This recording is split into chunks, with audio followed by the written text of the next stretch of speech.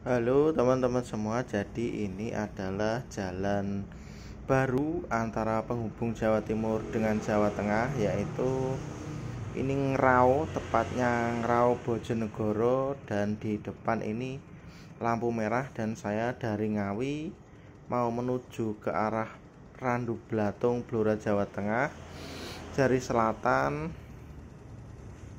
kita menuju ke utara lalu lampu merah untuk menuju Randu Blatung kita ambil jalur kiri guys.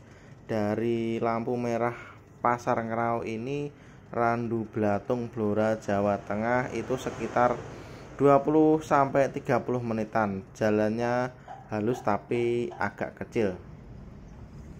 Dan di tengah-tengah ini adalah jembatan penghubung antara Jawa Timur dan Jawa Tengah sangat mempersingkat waktu.